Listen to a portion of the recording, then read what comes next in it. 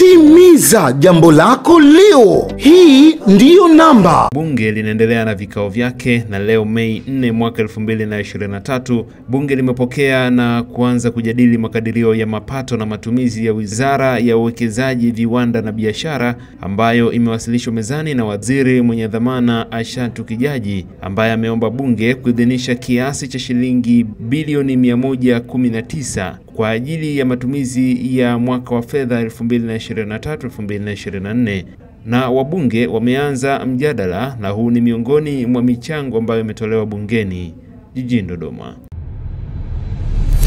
Saka kwa kunipa nafasi na mimi kuweza kuchangia katika wizara hii ya viwanda na biashara. Awali ya yote nimshukuru Mwenyezi Mungu kwa kunipa afya, lakini nianze kwa kuchangia kwa kumpongeza Rais wa, wa awamu ya sita Dr. Samia Suluhu Hassan kwa kazi nzuri anayoifanya ndani ya nchi yetu. Mheshimiwa Spika, nimpongeze pia Mheshimiwa Waziri dada yangu Dr. Ashatu kwa kazi nzuri anayoifanya katika wizara hii ya viwanda na biashara kwa kushirikiana na naibu waziri wake na watendaji wote wa wizara hii ya viwanda na biashara. Mheshimiwa Spika, nianze kwa kusema kwamba sera kubwa ya viwanda ni agroprocessing. Sisi Tanzania tunataka tuchakate malighafi zetu ili tuweze kusafirisha bidhaa nje ya nchi. Mheshimiwa Spika, kwa, kufanya hivi tutasaidia kuongeza thamani ya tunachokizalisha, lakini vile vile sambamba na kuongeza ajira ndani ya nchi yetu. Mheshimiwa Spika, lakini tukisema tusafirishe mazao, ina maana tutakuwa tunapoteza ajira na tunapoteza mapato. Na hii ajenda Mheshimiwa Spika, tumekuwa tukiizungumza takribani miaka mitano sasa, lakini hivi sasa inaenda kama inaenda kuwa kimya. Labda ningependa waziri aweze kuniambia akija kufanya majumuisho, ile ajenda tulikuwa tukiimba ya Tanzania ya viwanda bado ipo? Mheshimiwa Spika, tulianza kutengeneza industrial park pale Kurasini miaka miwili iliyopita. Nafikiri kipindi kile waziri wa viwanda na biashara alikuwa Profesa Kitila Nkumbo kama sijakosea, na tulikubaliana tuanzishe kiwanda cha chai, kiwanda cha kahawa, kiwanda cha parachichi na viwanda vingine. Mheshimiwa Spika, lakini vile vile tulikubaliana Tanzania tuwe na soko kubwa la chai kama lilivyokuwa kule Mombasa kwa majirani zetu. Hii ingeweza kusaidia wakulima wetu wa chai waache ile ile yale manunguniko ya kwamba tunakosa soko la chai, na hivi sasa mpaka wameamua hata ku, ku, ku nini kuacha uzalishaji wa chai na kung'oa baadhi ya mashamba ya chai kwa kukosa soko. Na ningependa kujua Mheshimiwa Waziri, huu mchakato umefikia wapi? Ukija kuleta majumuisho hapo, utuambie kwamba huu mchakato ambao tuliuanza pale Kurasini wa Industrial Park umeishia wapi? Mheshimiwa Spika, sasa nipende kuzungumzia swala la zao la parachichi. Kama tunavyojua kwamba Tanzania kwa East Africa ni moja ya nchi ambayo tunazalisha parachichi kwa wingi na mkoa wa Njombe ndio unaongoza. Parachichi zetu tunasafisha kwa tuna, tuna, tunazalisha kwa wingi na zenye ubora. Lakini Mheshimiwa Spika, ni miaka mingi sana tumekuwa tukipigia kelele wabunge wa, mkoa wa Njombe na wanyanda za juu kusini wa mikoa mingine kuhusiana na, zao, na swala zima la uanzishwaji wa viwanda vya kuchakata zao la parachichi ndani ya nchi yetu. Mheshimiwa Spika, ifike wakati sasa kama tutakuwa tunatoa ushauri haujapokelewa, basi serikali tuambie kwamba ushauri huu bwana, sisi hatujaupokea, ili tusiendelee kupiga makelele humu ndani ya Bunge.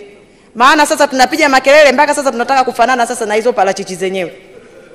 Mheshimiwa Spika, katika biashara yoyote duniani, kitu cha kwanza unachotakiwa kufanya katika uzalishaji wowote ni kuhakikisha kwamba una uhakika wa soko la ndani.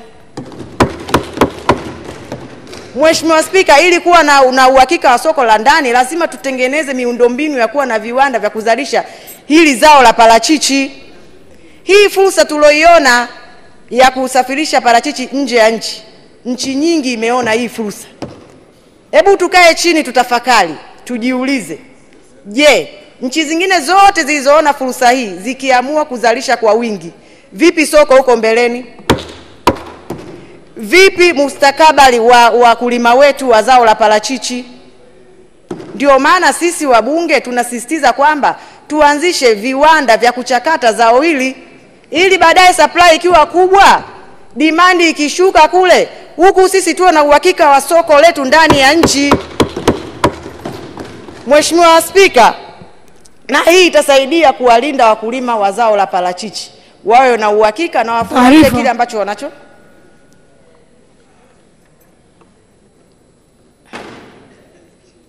Nili, nilikuwa sijamuita ili umalizie sentensi yako, maana umeishia kwa kwa Sasa sijui ataanzia wapi kutoa taarifa. Malizia sentensi uliokuwa unasema ili ni mpe nafasi. Eh, nita- nita kusema hivi Mheshimiwa Spika, ni kwamba umuhimu wa zao hili la parachichi ili liweze kuleta tija kwa wananchi ambao tunazalisha zao hili la parachichi ni kuhakikisha kwamba tuna viwanda ambavyo vitakwenda kuchakata zao letu la parachichi ili tuwe na uhakika wa soko la ndani endapo soko la nje likija kuharibika hapo baadaye. Haya, Mheshimiwa Neema Mgaya, kuna taarifa kutoka kwa Mheshimiwa Halima Mdee. Ya, ni- nilikuwa nampa taarifa mheshimiwa. Hotuba ya waziri inaonyesha kwamba tunaagiza mafuta kutoka nje tani laki tatu na sitini na tano.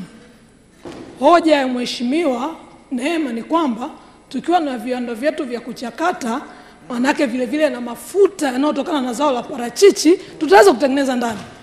Manake sasa tutafidia sasa hicho anachokisema, lakini vile vile kuzuia fedha za kigeni kwenda nje. Haya, Neema Mgaya, unapokea taarifa hiyo? Asante Mheshimiwa Spika, naipokea taarifa ya Mheshimiwa Halima kwa mikono miwili kwa sababu inatija kwa mustakabali wa nchi yetu. Mheshimiwa Spika, sasa nizungumzie swala la Liganga na Mchuchuma. Katika hotuba ya Mheshimiwa Waziri ametueleza taarifa njema za kulipa fidia wananchi wetu wa mkoa wa Njombe ili kuweza kuendelea na zoezi hili la Liganga na Mchuchuma. Mheshimiwa Spika, kulipa fidia tu haitoshi. Sisi wananchi wa mkoa wa Njombe na Watanzania kwa ujumla, kwa unyeti wa, wa mradi huu wa Liganga na Mchuchuma, tunataka kujua lini chuma kitaanza kuchimbwa.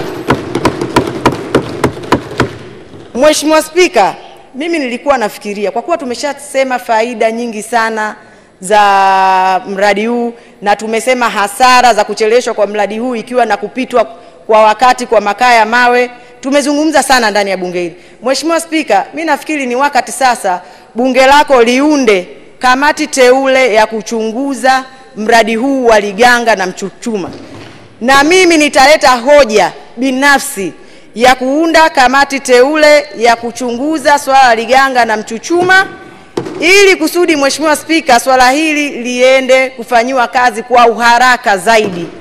Mheshimiwa Spika, naomba nikileta hoja hiyo mezani kwako unikubalie na uniunge mkono. Mheshimiwa Spika, naomba kuwasilisha.